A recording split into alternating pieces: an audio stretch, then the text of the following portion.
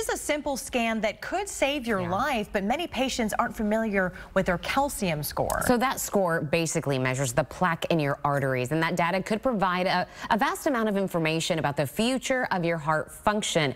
Health reporter Haley Hernandez is in Katy to explain. I'm here at Memorial Hermann in Katy, where this machine can take a scan of your heart. Now, that doesn't sound too out of the ordinary, but really, it can tell your future, a valuable tool for someone with a family history of heart disease. I think I was around 15 years old. Dr. Killen Pandoria tells me his father passed away from sudden cardiac death when he was just a teenager.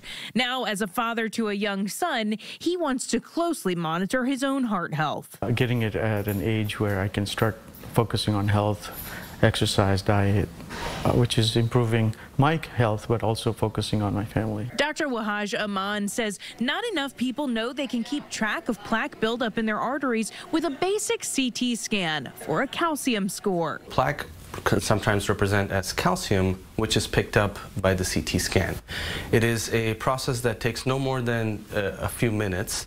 It does not require any contrast or IVs. He says it costs 150 to $200 and the results are priceless since studies show it can predict your risk of sudden cardiac death and heart disease. They can say that with about 99% uh, assurance.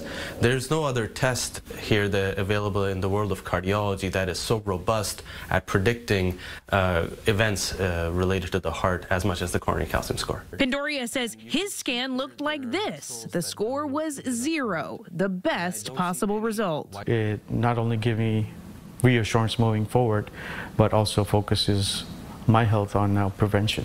The doctor says if you're interested in getting a calcium score, you should talk to your cardiologist. I'm reporting from Katy, Haley Hernandez, KPRC 2 News.